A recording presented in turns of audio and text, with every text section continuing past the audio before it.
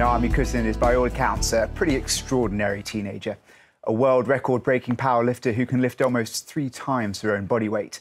Now, to put that in perspective, that's twice my weight just after Thanksgiving. There's a new independent lens documentary called Supergirl coming to PBS. It gives us an intimate portrait of a champion athlete as she navigates the perils of adolescence, the stress of competition, and her strict religious obligations. Here's a look. She's been powerlifting since she was eight years old. This one is when I set the all-time world record for the first time. With her family beside her. Strict Orthodox families never in a million years put their girls in sports. I want her to be able to do things she's remarkable at. This is the biggest competition Naomi has ever been at. I really want to break the record. Can she become the strongest girl in the world? Supergirl. I'm pleased to welcome the film's director, Jessie Auritt and Supergirl herself, Naomi Kutin, to the programme. Jessie, Naomi, real pleasure to have you here. Naomi, have to start with you. Um, what's the buzz? What's the thrill you get from lifting? I guess just the thrill of just going out on the platform at competitions and just getting into the mindset of lifting the weight and just going up and just giving him everything I have each time I go out on the platform. That's just really, uh, I really enjoy that and breaking new records and going after different goals and accomplishing them. All of that is just I really enjoy. Where did it all begin? What got you into the sport? My dad actually got me interested in the sport when I was eight years old. Um, I had been doing soccer and karate and different activities to try to figure out what I really enjoyed doing and what I wanted to invest time in. And at one of my karate uh, classes, my dad showed up. Usually my mom would take me, and he saw I was doing push-ups really well and running really fast and jumping really high. And he himself has actually been powerlifting for over 30 years. So we have a gym in our basement, and I grew up watching him work out. So when he saw that class of mine, he thought that maybe it would be something I'd be interested in, and we could do it together, and it would be a bonding activity, and it would be fun. So yeah. I think we have some, some footage of you uh, lifting in your basement and in competitions.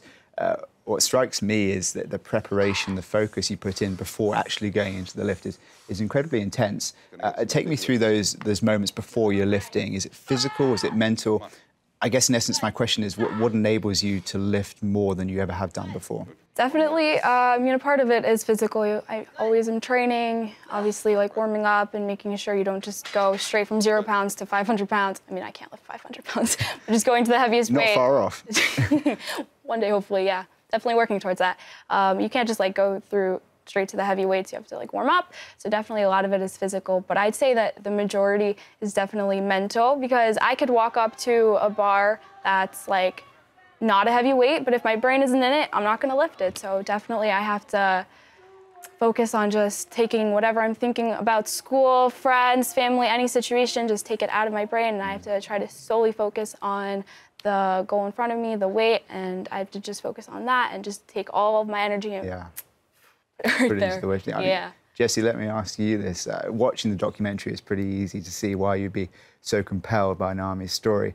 Uh, but I wonder how you managed to find her in the first place. What attracted you to her particular story? Why did you want to tell it? Well, I was doing some research online um, for a potential new project and came across an article about Naomi uh, that was in the Jewish Daily Forward about her lifting feats. And I was really fascinated that this young girl was participating in this very male-dominated sport and and was also from this Orthodox Jewish tradition, which, from what I understood, typically as traditional gender roles. So, you know, not only was she breaking these gender stereotypes in the sport, but also her religion. And to me, I just found that really intriguing and wanted to find out what was kind of going on beyond the headlines. Naomi, Jessie mentioned there your your religion. Um, in the documentary, your mum mentions that in in your circles, your participation in powerlifting could be seen as uh, controversial. It, it, could lead to you being shunned. Um, have you experienced any of that? What's been the reaction from your, your friends and your teachers to your participation in powerlifting?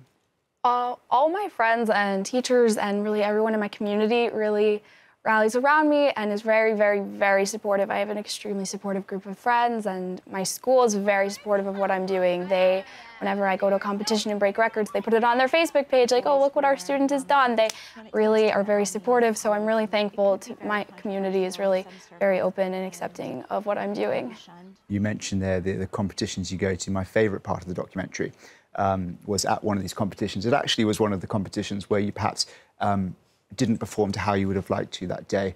Um, but nevertheless, the reaction after it was pretty spectacular. I want our viewers to take a look. That's awesome. I'm so impressed by seeing that.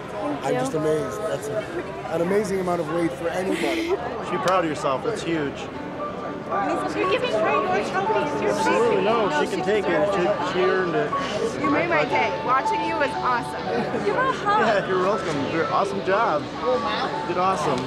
Be proud. I'm a mom too. Put it on, girl. You earned it. Their reaction there is, is spectacular to the, the fact that Naomi can, can lift almost three times her own body weight, following her to the, the competitions and seeing the people she was surrounded by. What struck you most about their reactions? Yeah, you know, I didn't know what to expect um, when we started this film and went over its competition. I was not familiar with the powerlifting community or the sport really at all.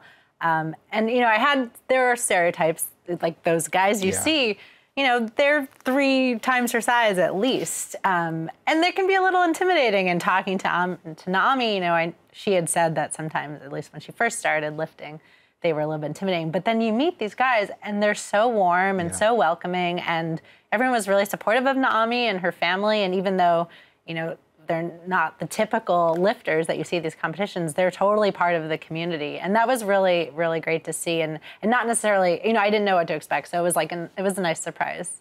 The film also, towards the end, covers um, the issue of weight and how that's incredibly important when it comes to powerlifting and the difficulties that a powerlifter can sometimes face when you're going towards a competition. You want to be within a certain weight classification. So time is spent making sure you come in just under the weight, but not over. It, it seems quite stressful. So my question being is, do you find it overwhelming? And how do you navigate the dangers of potentially becoming obsessed by weight? There is the weight aspect that you have to keep in mind. So it's the training along with the weight. And uh, when before I go to a competition, I see the different weight classes. And if I, if I'm really far away from the weight class, like say it's a month or two out and I'm 10 pounds away, at that point it's like that's I could make it if I really wanted to, but that's risky. Like, don't risk your health. Don't drive yourself crazy. At the end of the day, I competed in the next weight class. The world doesn't end. Everything keeps going on, and a record is a record. But my health is more important to me. Always, definitely more important. Brilliant. Well, it's a superb film. So, Jessie, congratulations for your work. Naomi, congratulations for all of your achievements, and thank you so much for joining us today. Thank, Thank you. And just want to remind the viewers, Supergirl, the documentary, debuts on PBS's Independent Lens this coming Monday, December the 18th. You can just head on over to our website, that's metrofocus.org, for information on your local listings.